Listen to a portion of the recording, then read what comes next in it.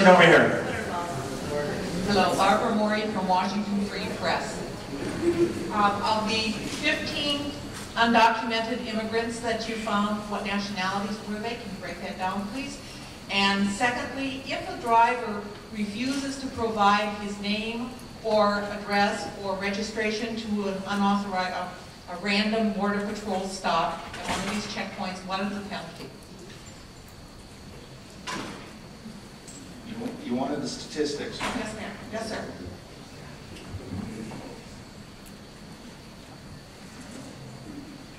We, out of the 15 apprehensions that I mentioned, uh, six of the individuals were Guatemalan and nine from Mexico.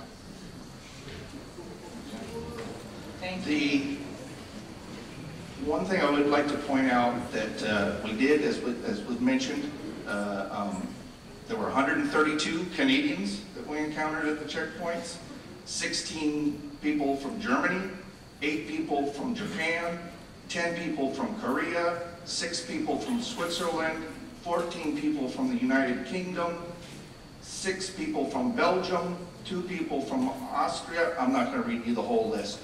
Peninsula here is a very, very popular place for visitors. A But zero, zero apprehensions of those people, those They were, they were here legally, ma'am. They were here legally. They presented their documents. I don't know how those Austrians got through. And all those Canadians, I'm really concerned about that. We've got, we've got another response over here.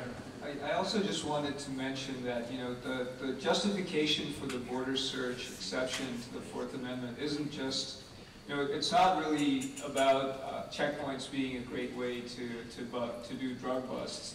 It really is very specifically uh, because uh, you're, you're trying to protect the borders. And, and so, you know, court has, has very specifically said, you know, it, it, it really doesn't matter how easy it is to, to get drugs from, from these searches. It's really about, do you think that the stuff that you're after has actually crossed the border? And if, if it's going to Canada, that's not, that's not a justification. Uh, it, it's really about some things coming across into the border that you, you aren't able to get by being at the. So the other question was, what's the penalty if a driver does not give that information at a border patrol stop? What happens? What's going to happen is we're going to end up spending a little bit more time talking to them and, and trying to find out what's going on with the situation. But uh, when it's uh, um, all said and done, if we, once we determine that uh, the, the situation doesn't require further investigation, we'll release them.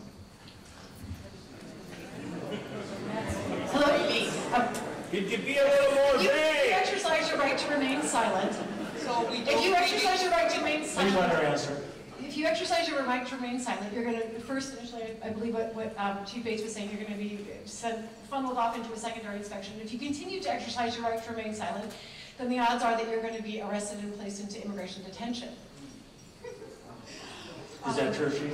Once again, um, as you mentioned, uh, I'm sorry, I forgot your name. Ann.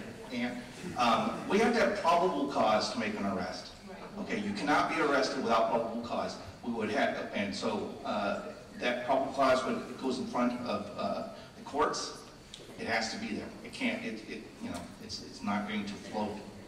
All right, so there. if I may summarize that, then in effect, the result of a driver refusing to give, um, refusing to give any information, including name or immigration status or a driver's license or registration, is that they may be detained for a short period of time, but they still do not have to speak. Is that correct? Once again, when I'm talking about people who are illegally in this country, or I'm people who... talking about drivers, just No, I understand. He's trying to answer the question. Let me, uh, thank you.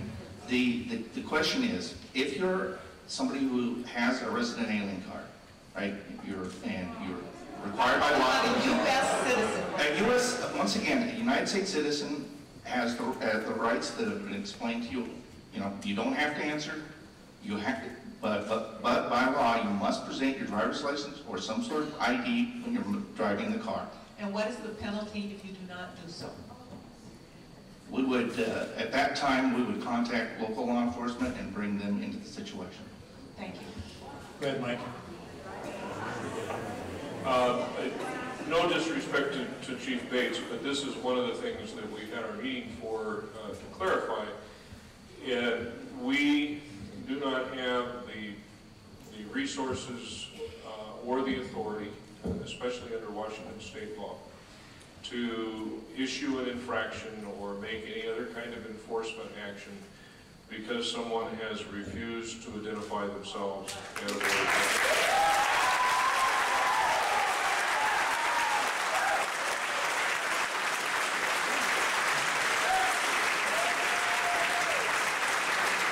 I'd like to, uh, let me just follow that up, so what You call the sheriff, he's not gonna come.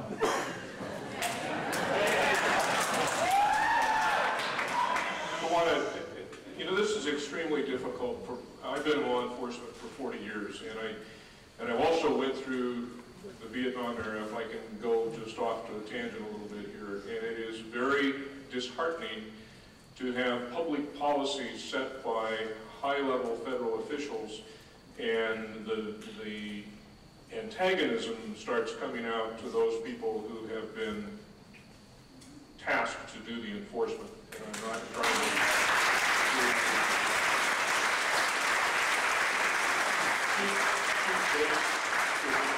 Very articulate, a very caring, and a very professional individual, and I don't have to speak for him. But I would hope that he leaves this gathering here tonight with a memory of, of respect uh, of the people here in the audience.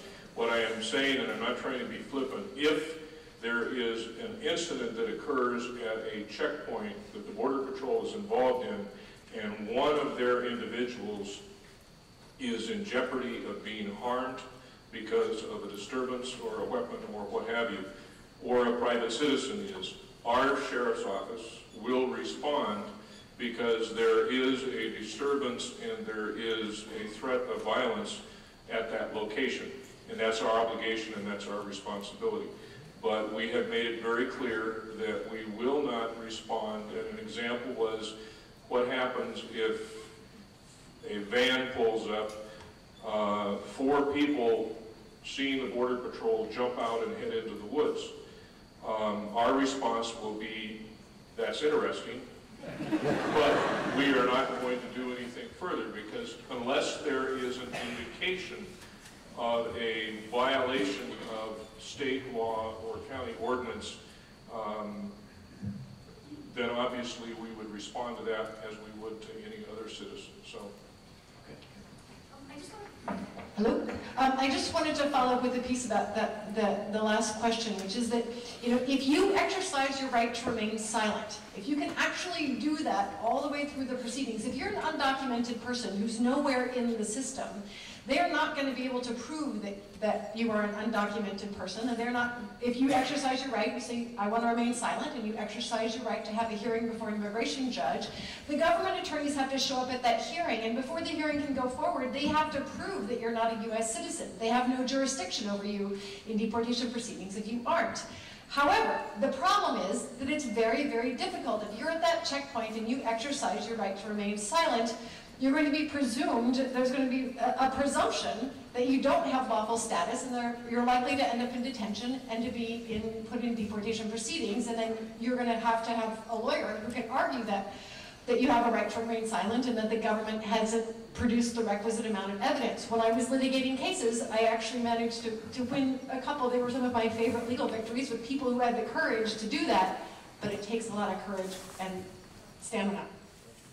Question over.